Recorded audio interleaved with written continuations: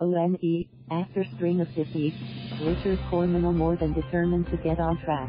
Manila, Philippines Richard Notorious Corminal got knocked out in first round in his ONE Championship debut in March of 2017 then, suffered an opening round submission eight months later before taking another stoppage loss last year.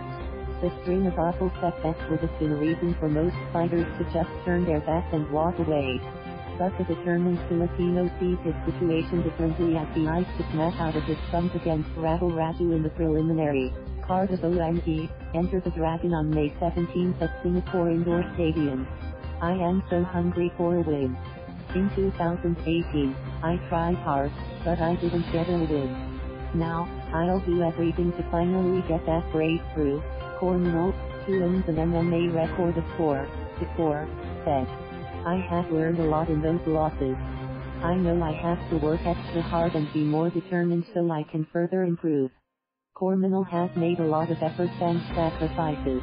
Ahead of what could be a make or break fight for him in the promotion and which is leaving and moving to Kuala Lumpur, Malaysia to focus on his training and martial arts career.